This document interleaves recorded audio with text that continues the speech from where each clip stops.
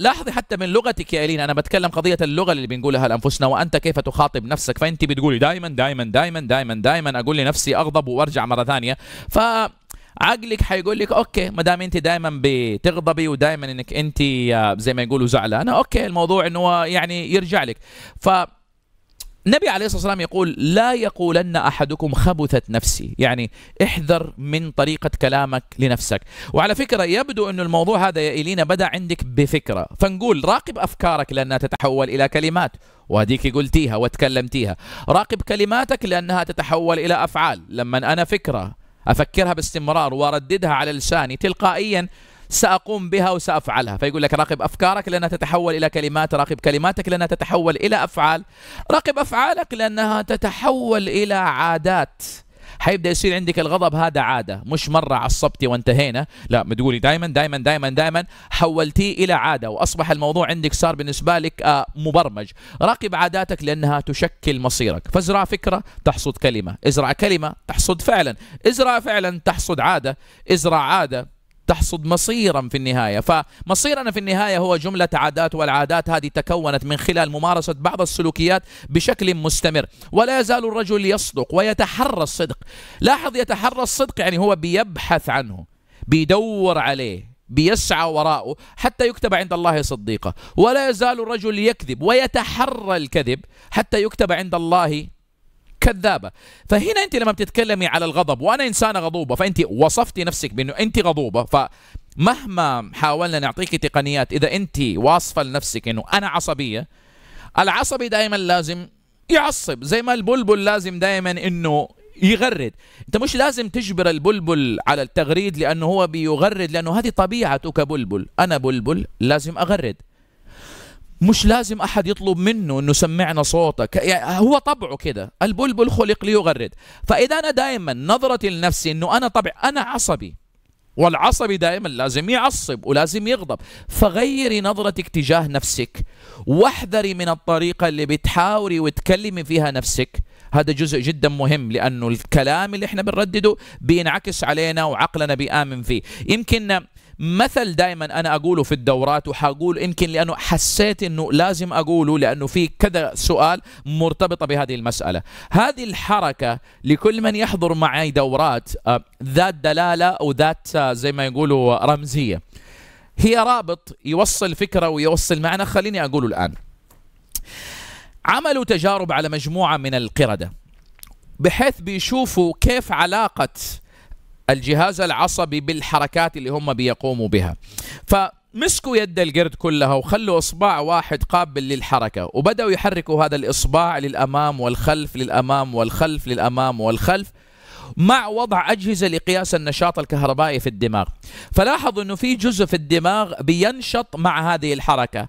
فإذا ربطوا أنه إذا هذا الجزء في الدماغ هو المسؤول عن حركة الإصبع بهذه الطريقة. آه صار في نوع من عملية الربط هنا. طيب. كرروا الحركة عشرات المرات. الجزء هذا بينشط بينشط بينشط بينشط. مئات المرات بينشط أكثر وأكثر وأكثر وأكثر. بعد فترة تركوا يد القرد من غير ما يعملوا الحركة هذه سابوها. عارفين إيش اللي صار؟ صارت عنده زي اللزمة العصبية.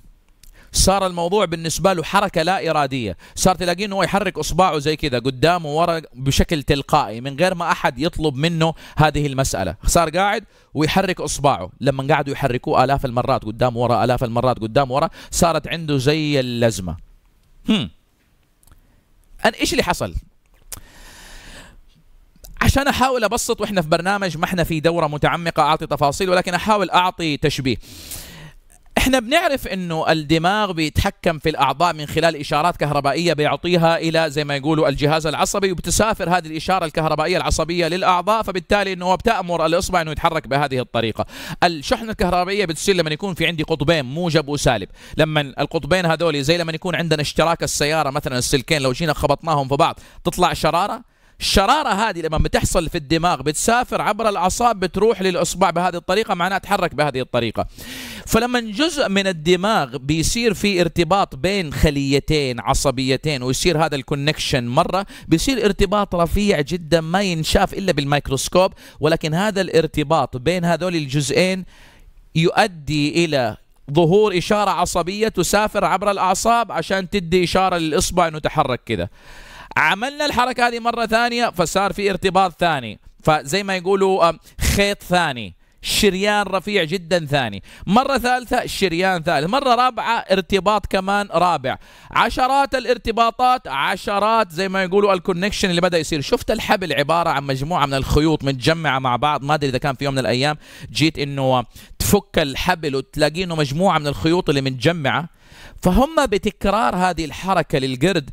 أصبح في جزء في الدماغ عنده في مسار عصبي قوي جدا. عارف زي زي العروق بدأت تصير. يعني صار في جزء نشيط جدا صار زي الأخدود. أنت شفت الأنهار كيف تتكون؟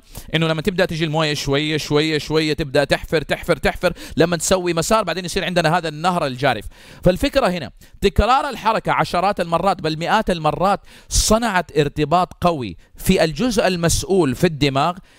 وتلاقي الطاقة في الدماغ بتروح للجزء الأكثر سهولة إن هي تنساب فيه والأكثر يعني زي ما يقولوا آه، انسيابية. فالفكرة هنا إنه لما خلاص ما أجبروا على الحركة أصبح بشكل تلقائي الطاقة الكهربائية اللي في الدماغ اللي عنده بتروح لهذا الاتجاه، البعض يقول لي كيف كهرباء في الدماغ؟ أنت عارف الصرع لما يجي فيه اختلال زي ما يقولوا في الكهرباء اللي في الدماغ وتجي للإنسان يعني موجات صرع فسبحان الله من يقرأ في الدماغ ويقرأ في المخ ويقرأ في البرين بشكل متعمق يمكن يوصل ل يعني زي ما يقولوا كنوز ويوصل إلى فوائد كثيرة.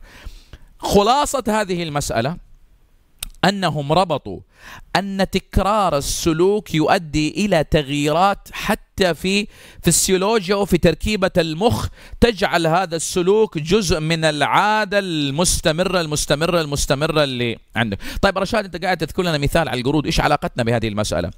ما في مرة مثلا يعني تخيل ندي مثال مثلا على فهد، فهد مثلا آه عملوا في هذا الاتجاه هذا اليمين مثلا كل يوم بيروح العمل ويرجع من نفس الطريق. دخلة خرقة خرقة دخلة صبح وليل ليل وصبح.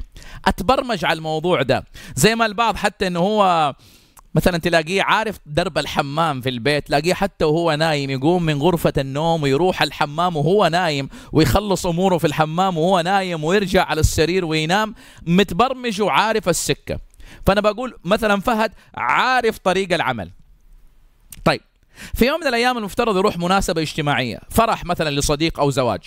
على الاتجاه المعاكس وهو نازل بشغل السيارة جاله اتصال مثلا كلم أبو محمود ها أبو محمود كيف حالك؟ طيب كذا كذا. وبدأ إنه يتكلم معه. المفترض إنه يروح الفرح هنا لقى نفسه متبرمج لا شعوريا رايح في سكة العمل رايح على الدوام. بعد ما خلص المكالمة أوبس إيه اللي جابني أنا هنا؟ ما أدري إذا كان مر علينا موقف زي كذا وأكيد كلنا يمكن مر علينا موقف شبيه بهذه القصة إنه تلاقي نفسك في نص الطريق وتقول أنا إيش اللي بعمله؟ متبر لأنه تبرمجنا ما إحنا قرود لكن أتبرمجنا عقلنا بسبب التكرار التكرار التكرار بيبرمجنا. فعشان كذا هذه الحركة لما بقول لما أنا أك... على فكرة ما الذي يبرمج؟ سلوكيات أنا بسويها أو أقوال أنا بقولها أو أفكار أنا بأفكرها. تتذكروا في حلقة سابقة لما تكلمت على عجلة النجاح وجيت أفصل في الفعل وقلت إما إنه يكون أعمال القلوب أو أعمال اللسان أو أعمال الجوارح فأي واحد منها بالتكرار بالتكرار بتتبرمج عندنا. إضافة بس عشان أقفل هذه يعني الجزئية وهذه التجربة. قالوا هل لازم نعمل التكرار آلاف المرات عشان ترسخ العادة أو السلوك؟ هل ممكن طرق أخرى تقلل هذا الاحتياج للتكرار الكثير والكثير لغرس هذه العادة والسلوك؟ عملوا دراسات على أشياء كثيرة ووجدوا أن في جزئية جدا مهمة.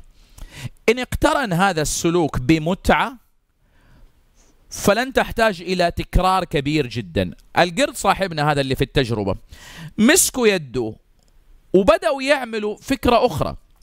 بدل ما إنهم هم يعملوا التكرار لآلاف المرات جابوا قرد آخر وبدأوا إنهم هم يعملوا له تكرار بسيط. خمسة ستة سبعة ثمانية عشر مرات. ولكن عارفين إيش سووا؟ في نفس اللحظة استثاروا مركز المتعة في الدماغ بنوع معين خاص من الإبر. عارف لما الواحد يزغزغ مثلا كده وتجي تدغدغه فبدأوا يستثيروا فعليا جزء يسموه ال pleasure center مركز المتعة. هذا الجزء المسؤول عن توليد كل المشاعر الإيجابية اللذة النشوة اللي هو المشاعر عارف اللذة والانتعاش والنشوة اللي بيشعر فيها فهذا الجزء لما يثار بيشعر بأطنان من المتعة الهائلة. فلحظة إلزامه بتحريك اصبعه استثاره في نفس التوقيت وفي نفس اللحظة مركز المتعة ال pleasure center فأصبح القرد يشعر بأطنان من المتعة. عارف تلاقي حتى في الفيلم الوثائقي تلاقي بشعره وقف. مبسوط على الآخر. مرة اثنين ثلاثة أربعة خمسة عشر مرات وتركوه. القرد اوتوماتيكيا لوحده صارت عنده لزمة. ما احتاج يكرر ألف مرة. صار بيعمل الحركة تلقائي ومبسوط بيسوي زي كذا عارف مبسوط بي بيدور على اللذة اللي هو كان بيشعر بها صار عنده نوع من الاقتران. والبعض طبعا عارفين لما نتكلم على الارتباط الشرطي ونتكلم على صناعة الرابط العصبي الفكرة إنه عشان تغير نفسك يجب إنه يكون عندك قضية التكرار هذه مسألة جدا مهمة وقضية اقتران المتعة بالتغيير الجديد اللي يرسخ ويدوم معنا. فيا إلينا. إذا بقول لك احذري من كثرة تكرار كلمة أنا عصبيه أنا عصبيه أنا عصبيه أنا عصبيه مخك يقول لك والله ما حنفشلك. أنت عصبية وعمرك ما حتكوني زي ما يقولوا يعني إيجابية.